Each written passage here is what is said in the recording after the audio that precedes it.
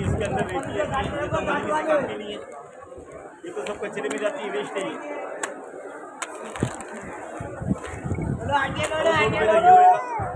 हज़ार रुपये का पूरा सामान है भाई साहब से चार हज़ार रुपये बाहर फ़ोन वालों ने ले लिए। तो भाई साहब आप लोग ज़रा ध्यान से सुन ले मेरी बात को।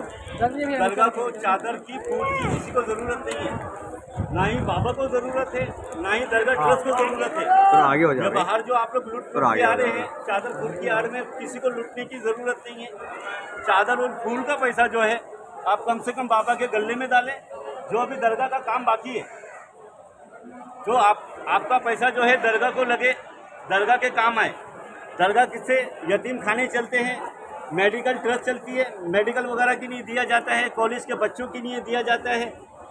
अभी ट्रस्ट ने जो है कोई जगह ली है, कोई जगह खरीदी है, उस जगह पे मुसाफिर खाना बनाना है आप सबके लिए, और ये सब आप सबके ताउन से ही होगा।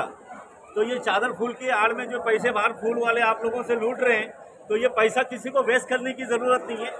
चादर फूल का पैसा, फूल चादर का पैसा आप लोग बाबा के गले में डालें, बाबा के गले में नहीं डाल सकते हैं, बाहर ट्रस्ट का ऑफ़िस है, अंदर ट्रस्ट का ऑफ़िस है, आप वहाँ ट्रस्ट के ऑफ़िस में जमा कर दें जो वो पैसा जो है, आपका जो फंड जो है, जो दरगाह के काम आए, कॉलेज के बच्चों की फ़ीस भरी जाए, यतीम खाने चली जाए, चले जाएँ, मदरसों के मदरसों के लिए वो मदद वगैरह होती है, वहाँ जाएँ।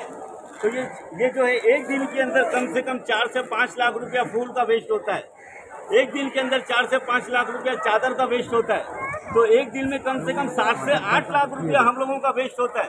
तो यही पैसा अगर हम लोग बचाने की कोशिश करेंगे तो कम से कम दरगाह के काम आएगा बाहर बाहर के नौजवान पब्लिक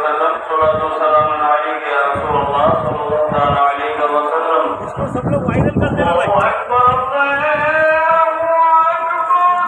आगे आप लोग जितना भी सकते हो। तीन हज़ार दो सौ